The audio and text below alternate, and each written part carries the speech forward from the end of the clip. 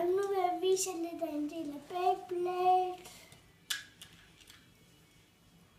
Um, den Beyblade kender I sikkert godt. Jeg ser helt sikkert til filmen.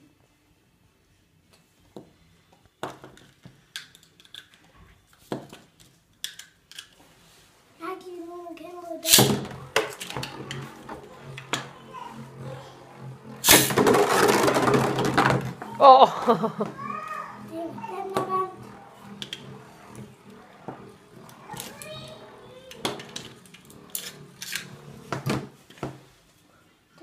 mod Galaxon Pegasus, som I nok godt kender.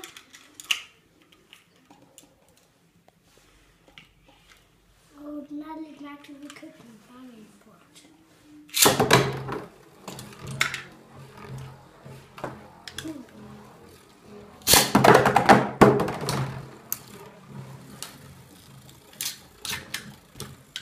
Nu vil jeg tage en mere.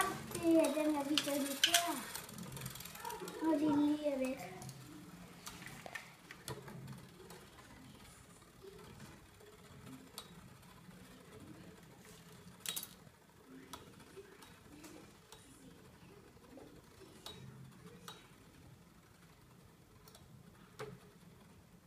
Mhm. Det er Mortal Kombat. Det her, det går nok.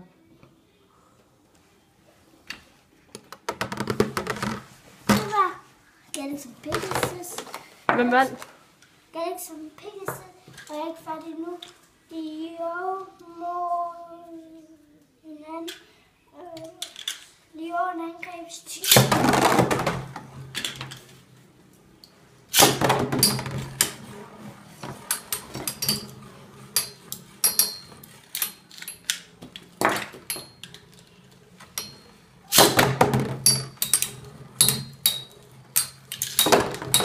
Åh. det